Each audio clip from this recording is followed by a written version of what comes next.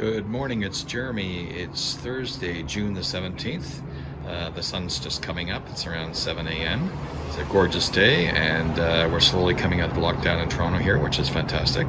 Today, I want to talk about solar power, and we're looking here at two solar panels. Uh, the first panel, which we'll look at in a second, is a panel I've had for 20 years. And the second panel is uh, something I just bought recently on Amazon. So let's look at this first panel here. This panel here is a Unisolar um, 10 watt panel, which I purchased about 20 years ago. And um, I used it to trickle charge. This is my HF transceiver, it's a K2, and it has a 12 volt gel cell inside. So I used this panel here to trickle charge the 12 volt battery in there. Now, the panel came with a Morningstar solar uh, charger, which this panel here produced, um, I think at maximum up to 28 to 30 volts. So to get it down to a charging voltage for 12 volts, it used this particular um, regulator. This is a PWM regulator, similar to the one I had on my Land Rover 30 years ago. What it does is it, it switches the voltage on and off so that the average voltage is around 13.5 which is what you need to trickle charge the battery.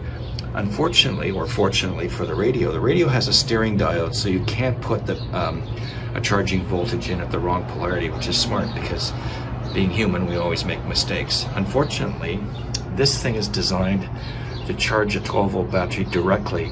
So if you've got a steering diode on there, it blocks the measurement reverse current, so it won't work. So what I did is I put a, um, this is the output of the solar regulator. It's a a heavy duty automotive connector, which I like.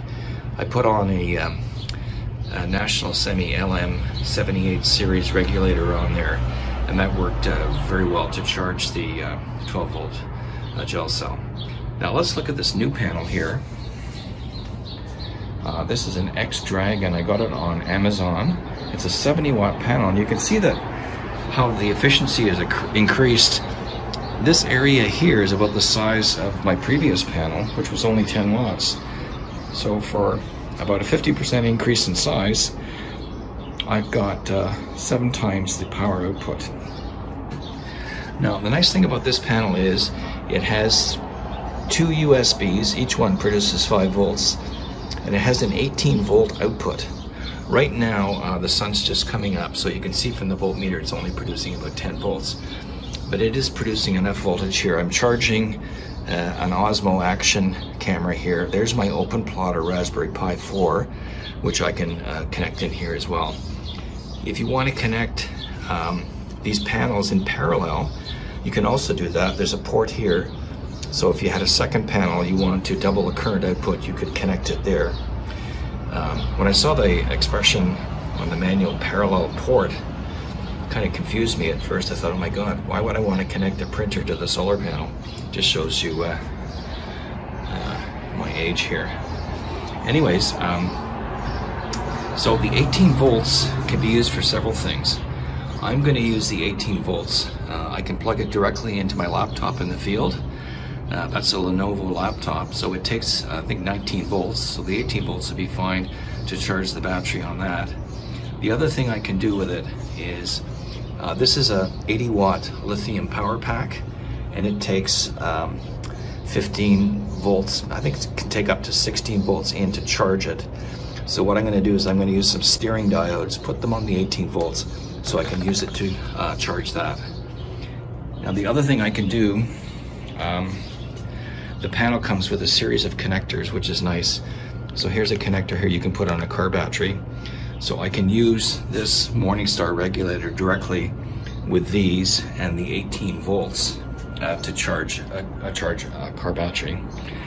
Uh, as well, um, I can operate um, my K2 with um, the linear regulator that I have for this guy. I can operate the K2 from the 18 volts.